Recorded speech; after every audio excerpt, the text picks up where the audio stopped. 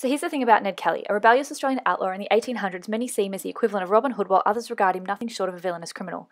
Born in Victoria in 1854, Kelly was raised in poverty, working as a bushranger with a lot of police persecution due to his Irish heritage. Arrested in 1870 for stealing horses, he spent three years in prison. After his release, he then fled to the bush in 1878 with his brother and two friends after being charged with attempted murder of a police officer at his family home. The Kelly gang is tracked down by four police officers to be taken into custody on October 1878 at Stringybark Creek near Mansfield, Victoria.